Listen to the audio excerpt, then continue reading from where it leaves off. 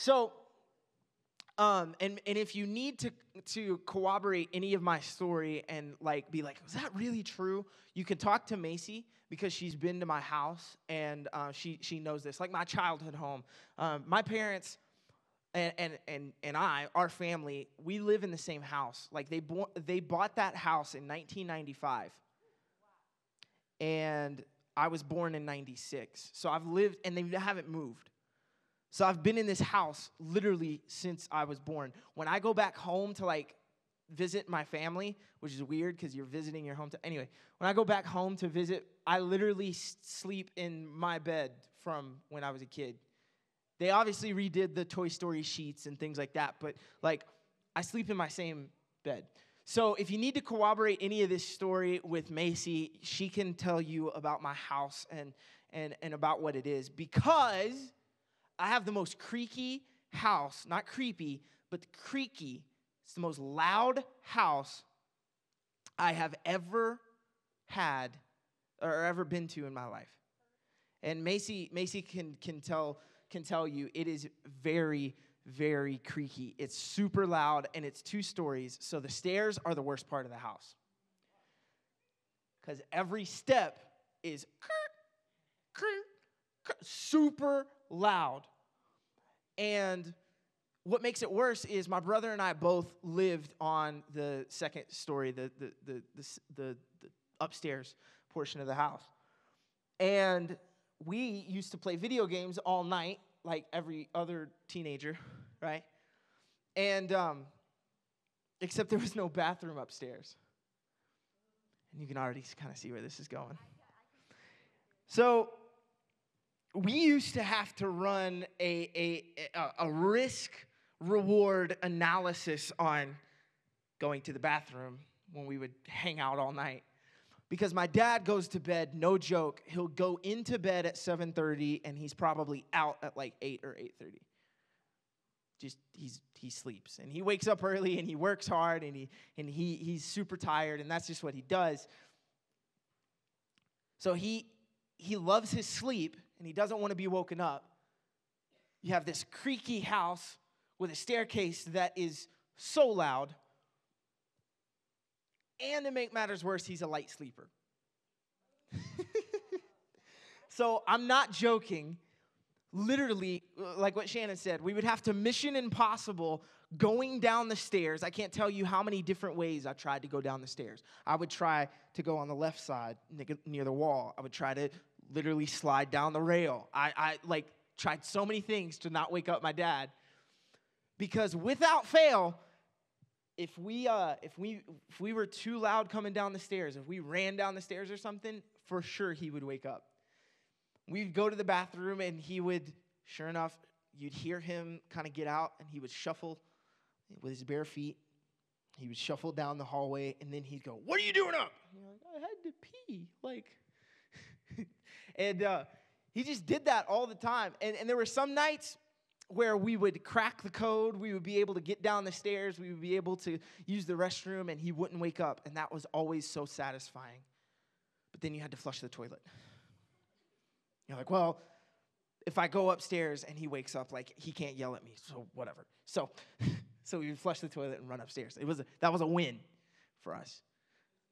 But like I said, like I said, there was a ton of times where, sure enough, he would wake up and he would shuffle down. He'd go, What are you guys doing up?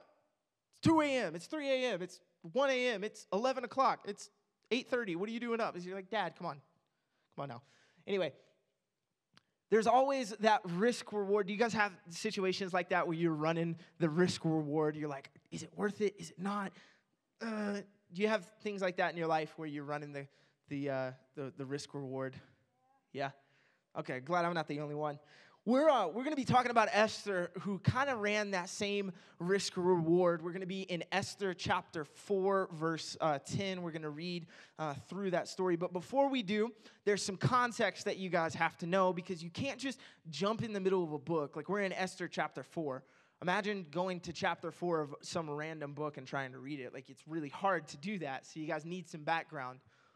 So, what's happened so far? Well, there's an old queen who is with the king of Persia. His name is Xerxes. Everybody say Xerxes. Xerxes. And um, she made her husband angry. And in that time, when you made the, uh, the king angry as the queen, that just meant you weren't the queen anymore. So there was a search to have a new queen. And boy, did they have some characters. They had lots of people. Actually, I have a video uh, from Veggie Tales that, uh, that explains how hard this search. If you guys want to go ahead and play that.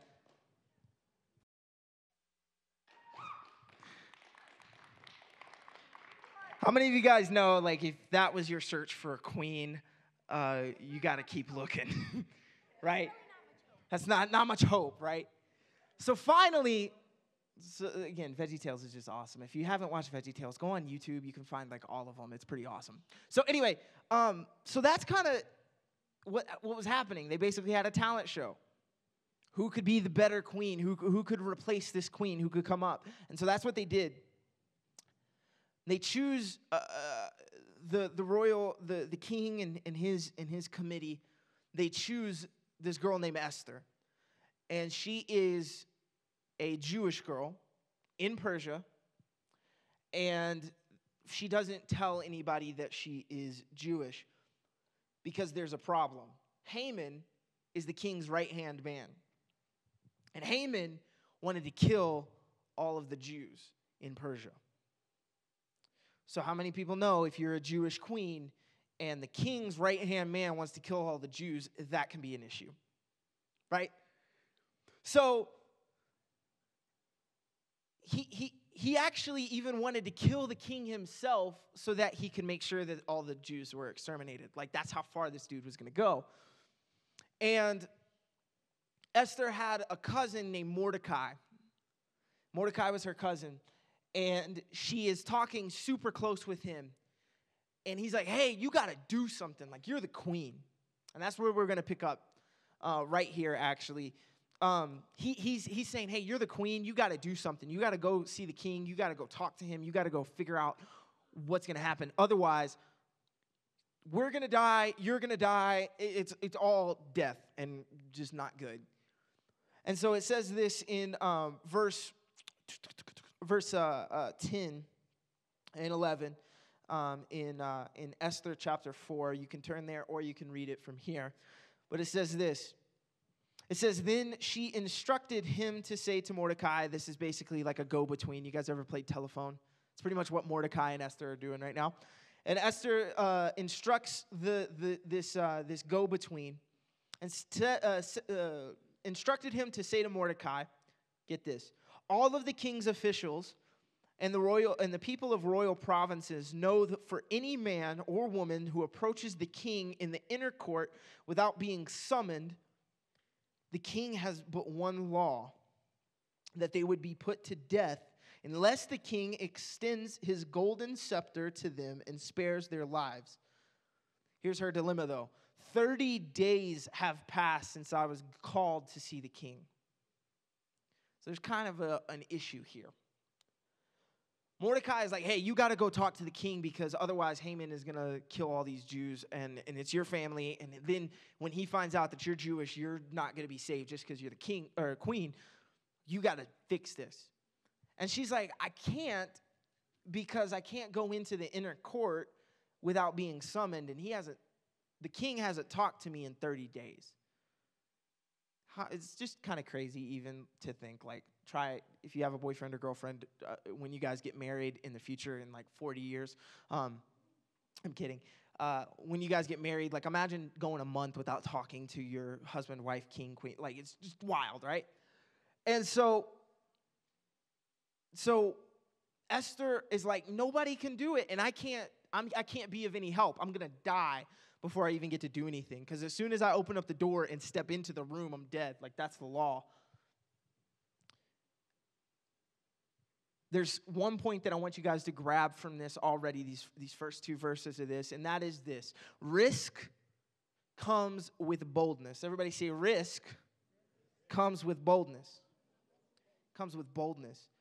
You see, Esther disqualified herself based on the circumstances that were around her because she hadn't been summoned to the inner courts.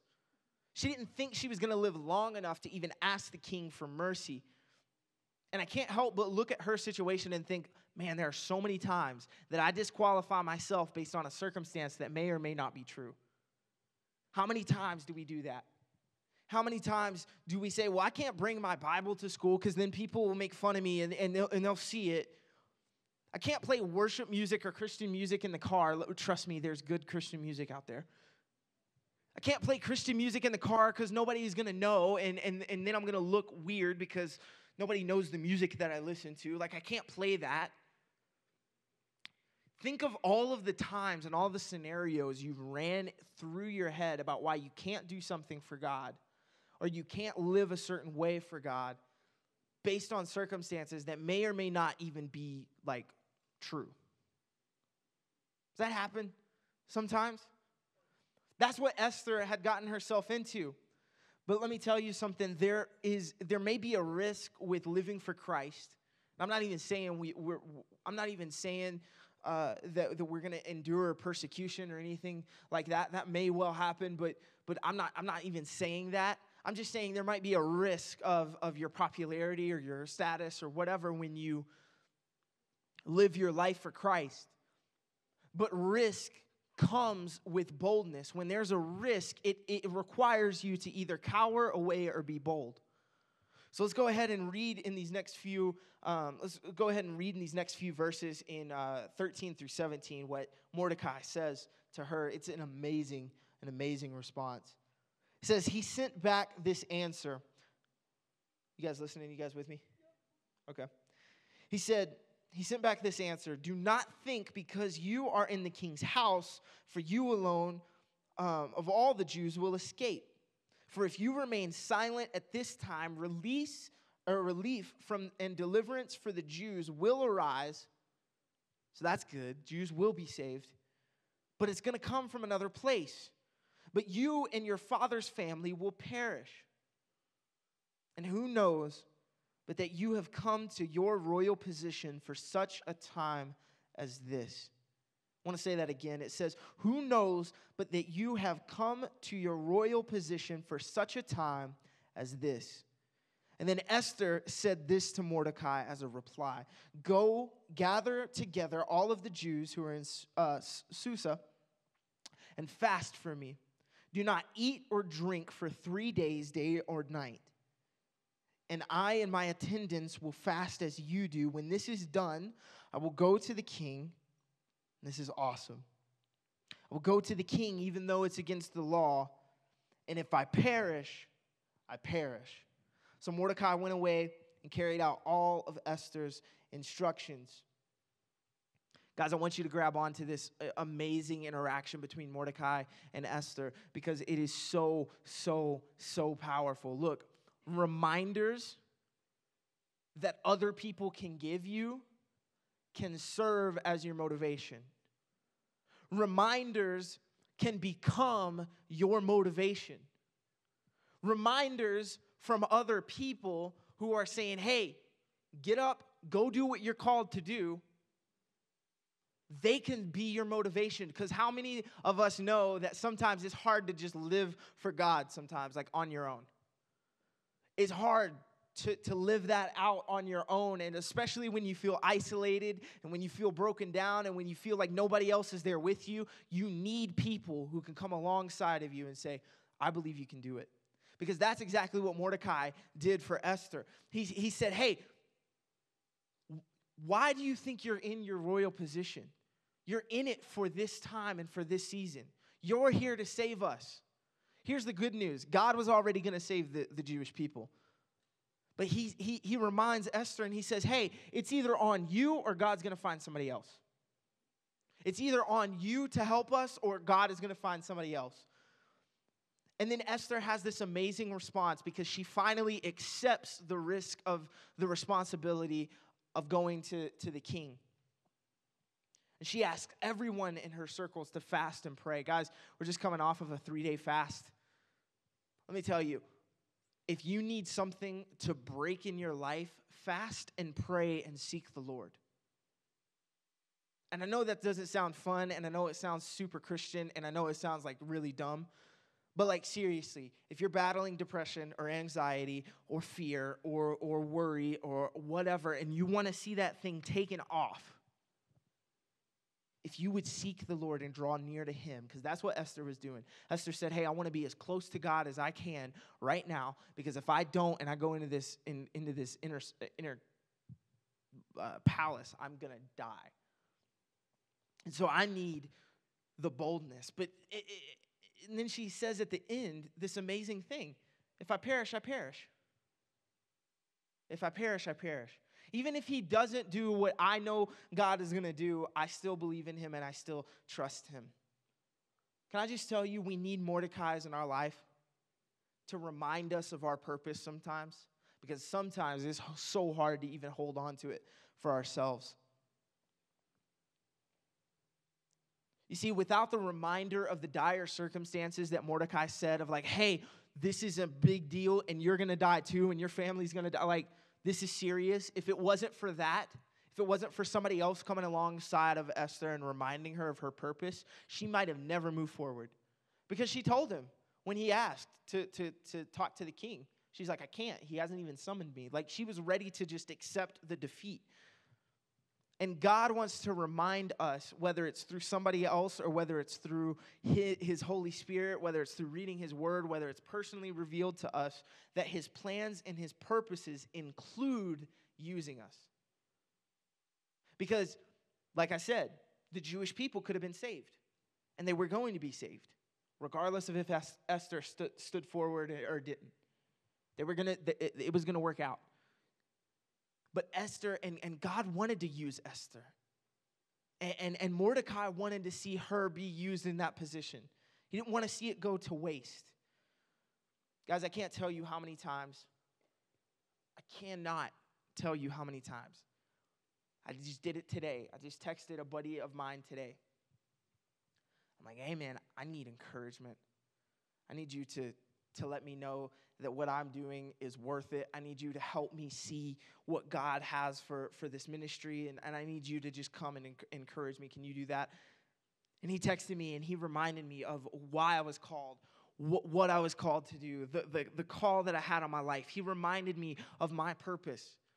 And it wasn't that I, I wasn't hearing from God, it wasn't that I'm in this far off, distant place, but I just needed to reach out to him and I needed to hear from him, and I needed that encouragement from him. Find Mordecai's in your life who can come and, and, and, and come alongside of you and say, you know what?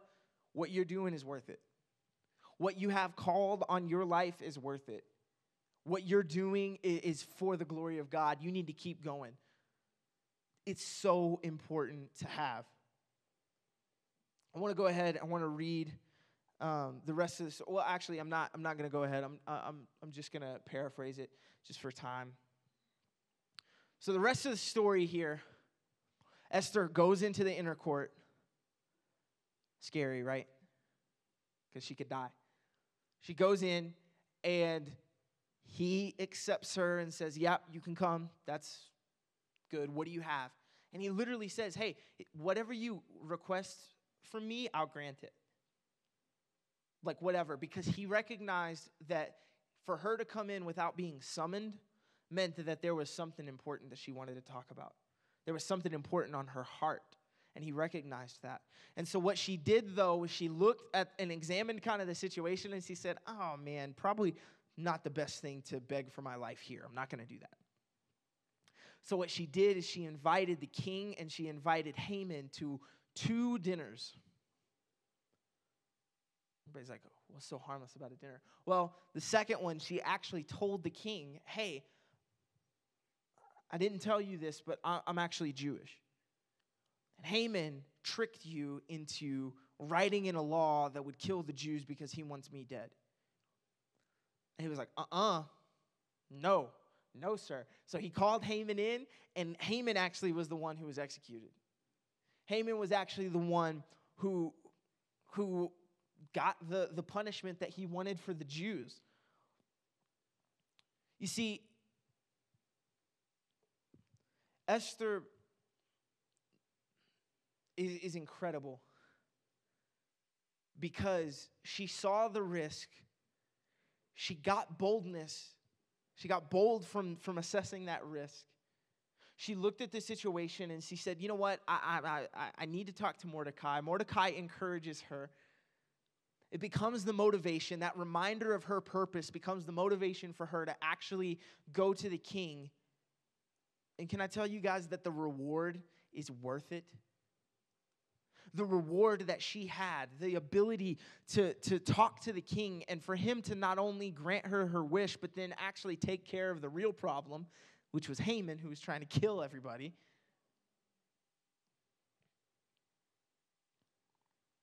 The rewards that we reap when we're bold are like nothing that we can imagine. And guess what? You don't have to be sure when you step out in boldness when you step out in confidence, when you step out in what God has for you, you don't always have to be sure. Because I'm sure as she opened up that door, she was like, please don't kill me, please don't kill me, please don't kill me, please don't kill me. Like, she was probably really freaked out and didn't want to really open up the door, to be honest. But she knew that there was a purpose, and she knew that she was called to, to for such a time as this, like Mordecai said. Sorry about that. I spit. But like, Guys, there may be a risk in living your life for Christ. There may be a risk in giving yourself uh, uh, devoted to, to God. Find yourself people who can encourage you when you're looking at the risk and it looks too big. When you're looking at the issue and it looks too, too problematic and it looks like it's too messy, find people who can push you through it and help you go along. Because on the other side of whatever you're looking at that's so big and so problematic and such an issue and such a, a big thing, the other side of it is a reward that you might never even know what it could do. Guys, the story of Esther is so cool. Do you want to know something else really cool about this book? You can read all, all of the chapters. It's a short book. You can read the, the, the remainder of the story. Here's the crazy thing do you know how many times God is mentioned in Esther? 11. How many times? Z- zero. Zero. God is mentioned zero times in Esther. Now, does that mean that God isn't in this book of Esther? No. God is working throughout the entirety of this story. He's preserving his people. He's so, so active in this book. But he's not even mentioned at all. Yet he's so at work. God wants to use you. And the, I, the, reason why I say that, the reason why I say that God isn't mentioned is because sometimes you can move forward and, and God feels like he's nowhere feels like God hasn't been mentioned in your life. It feels like God is, is not around in your life. Let me tell you, He is, and He's working, and He's moving, and He wants to see you. Surround yourself with people who can push you through whatever you're going through, who can assess the risk and say, you know what, it's worth it. Guys, this story is incredible because this woman steps out and is used by God for something that was way bigger than herself, and it was her position and her time and her season to do it. So, tonight, if you guys would just bow your heads and close your eyes, if you would say, Tonight, I, I, I want to be used, and, and, and, and I'm looking at the situation around me, and I see that I need to. I need to step into what I'm called to do If that's you, would you raise your hand? Say, I need to step into the season. This is my, my season that I'm built for, and I need to step into it. Thank you.